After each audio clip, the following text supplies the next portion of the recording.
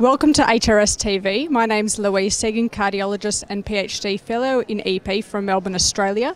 I'm delighted to be joined by my colleague, friend, and um, esteemed guest, Dr. Sandeep Prabhu, who's Associate Professor in Cardiology and Electrophysiology, who's going to talk to us today about two important studies in patients with AF and concurrent heart failure. Welcome, Sunny. Thank you, Louise. Uh, it's a great pleasure to be here uh, on uh, HRS TV. Uh, my name's uh, Sandeep Prabhu. I'm a staff cardiologist at the Alfred Hospital in Melbourne uh, and a senior research fellow at the uh, Baker Research Institute, also in Melbourne. Um, and yeah, we have some uh, exciting new studies that uh, have been a lot of work and have finally reached, the reached the point where we can present them in, to the wider audience.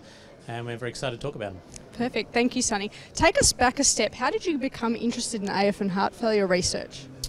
Yeah, so this uh, sort of extended back to probably 2014 when I started uh, EP training.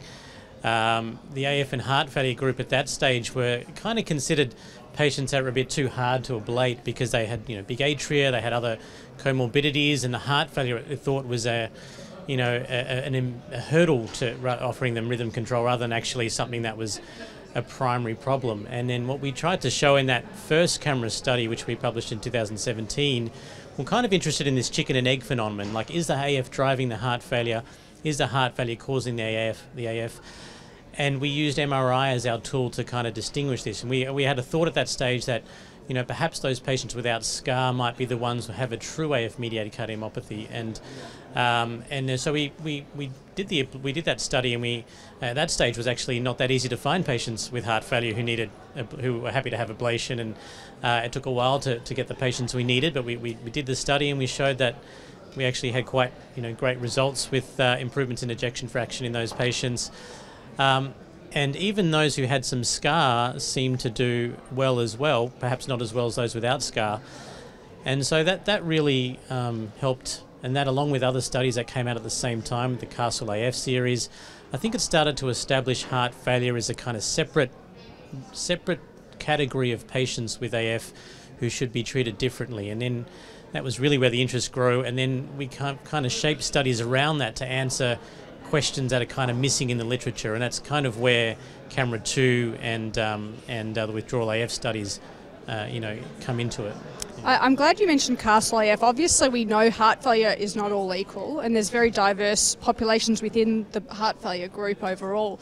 And Castle AF obviously was a um, a population with somewhat advanced cardiomyopathy, a lot of patients had devices. We know that that showed a significant benefit also with catheter ablation, but there was that subgroup with a more severe cardiomyopathy, less than ejection fraction, less than 25%, that seemed to not do quite as well. So, how does that then fit into the design of the Camera MRI 2 study? Tell us a bit about that. Yeah, so Camera MRI 2 was a study where we were interested in patients who now had coexisting structural heart disease. So, Camera MRI 1, we focused entirely on those patients with otherwise unexplained cardiomyopathy, and uh, we excluded those patients who had known structural heart disease, such as myocardial infarction or other disease processes that could cause scarring in their, in their myocardium.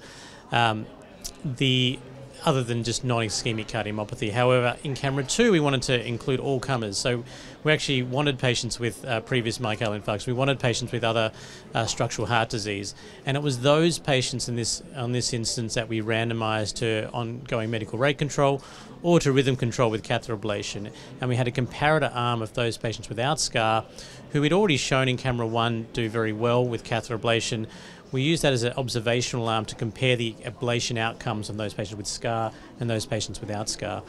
Uh, and so basically, we, we took these patients and we followed them for 12 months, um, and they had cardiac MRIs at both baseline and follow up to see what the outcome was in terms of heart failure, uh, heart failure improvement, uh, ejection fraction.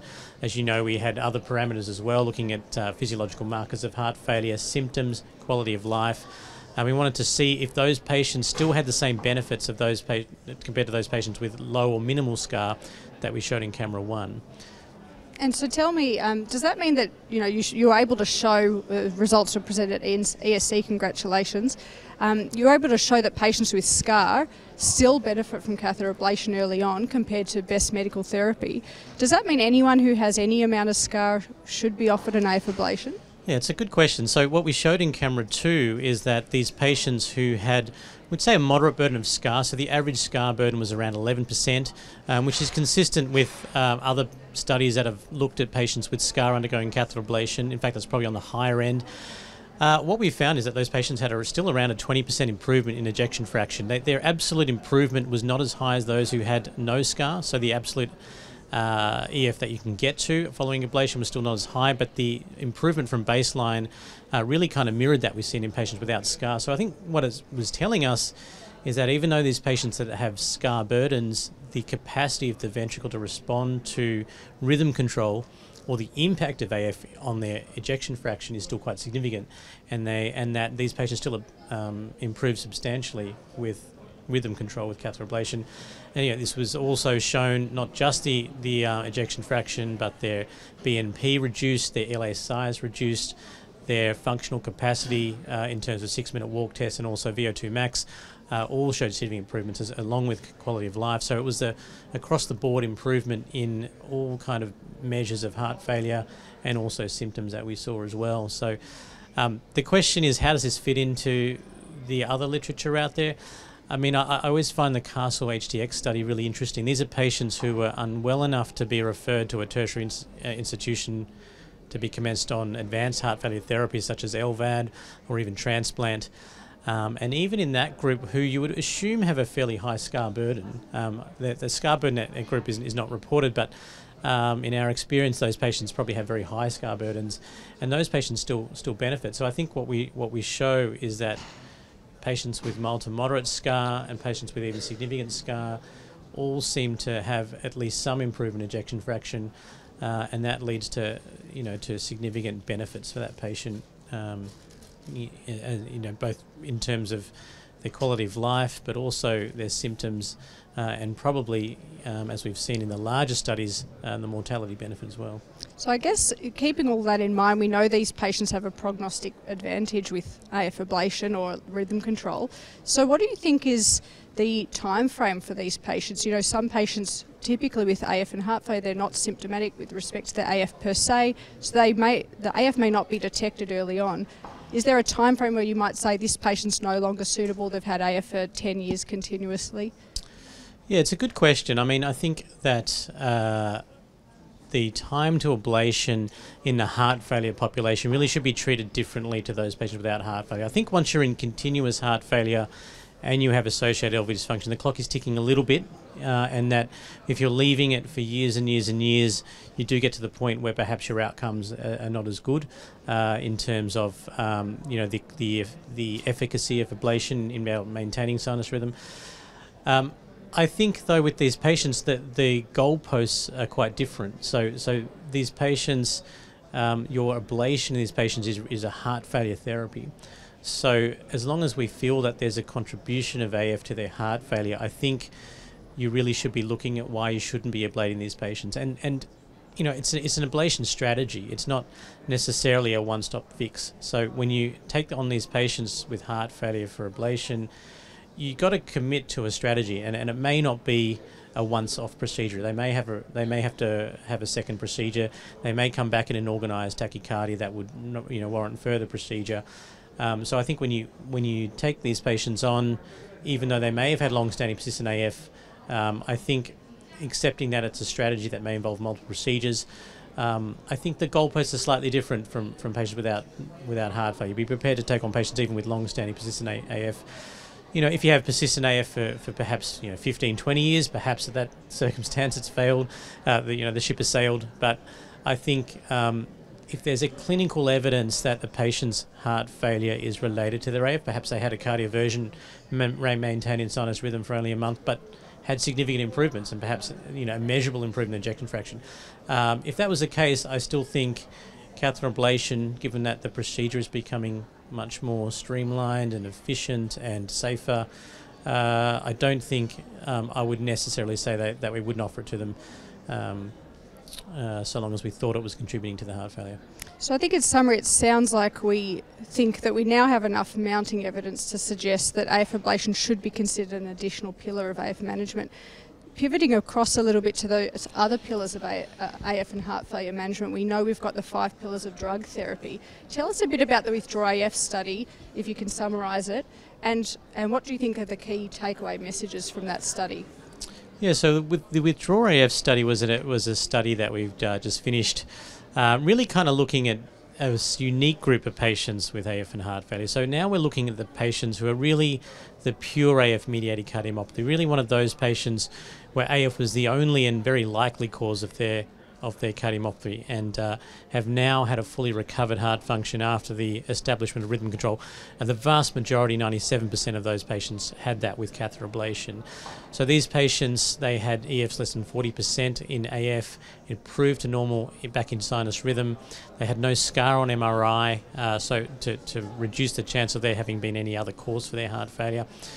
Um, and the question that we had is that all these patients get guideline directed heart failure therapy um, as, as directed by guidelines, and there's really no guidance as to how long they need this for. And, um, and the question with these patients having a fully reversible cause, we think, of their heart failure, you know, do they actually need these heart failure therapies in the long term? And, and we, we designed this study to sort of safely. Um, safely withdraw them from these medications and monitor them closely, both with regards to their ejection fraction, also their rhythm, uh, and see whether there, there was an impact on the ejection fraction by withdrawing these therapies. Um, and and um, we found that in the vast majority of these patients, well over 90% of these patients, um, you could safely withdraw therapy in a staged and controlled manner uh, and follow them up for six months. Um, and they maintain their ejection fraction over 50% or, um, in the normal range despite being off medications. And we, we designed it in a double crossover fashion so each patient acts as their own control to show that being on the drug or being off the drug really had no impact on their ejection fraction. Um, there were some patients who had who, who had relapses, uh, a small number. Um, we looked at that in a bit of detail and showed that um, perhaps there was some you know subtle indicators with their pre-existing ejection fraction that may predict that. Um, but certainly the hypothesis generating um, generated from this study suggests that in the vast majority of patients, perhaps heart failure therapy in the long term may not be needed. Yeah. Fantastic, Sunny. Well, thanks very much for those amazing insights. Just a quick take home for the audience. What do you think is the future frontiers in terms of AF and heart failure research? What's the next big project?